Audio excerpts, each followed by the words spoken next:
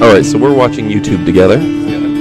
Um, this is the death of Herman. I guess this guy had named his sit, zit or cyst Herman. Oh, maybe you can explain to me the difference between what would be a zit or a cyst. I guess I would call this a cyst because it's large and on his back, but I'm sure there's some technical reasoning. Um, he does look a little bit like, I'll give you that. He, he looks like Scotty Schwartz from The Toy, which was a underrated Richard Pryor movie from the 70s or 80s. Had Jackie Gleason, which is good. I like how he looks back at the camera like, check this shit out. I just popped the shit out of this thing. Looks pretty happy with himself.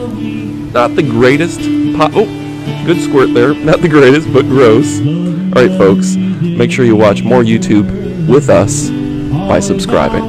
Thanks. We'll talk to you later.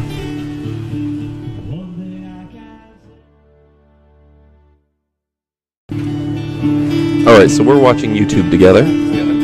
Um, this is the death of Herman. I guess this guy had named his sit, zit or cyst Herman. Oh, uh, maybe you can explain to me the difference between what would be a zit or a cyst. I guess I would call this a cyst because it's large and on his back, but I'm sure there's some technical reasoning. Um, he does look a little bit like, I'll give you that. He, he looks like Scotty Schwartz from The Toy, which was a underrated Richard Pryor movie from the 70s or 80s. Had Jackie Gleason, which is good. I like how he looks back at the camera like, check this shit out. I just popped the shit out of this thing. Looks pretty happy with himself. Not the greatest pop. Oh, good squirt there. Not the greatest, but gross. All right, folks. Make sure you watch more YouTube with us by subscribing. Thanks. We'll talk to you later.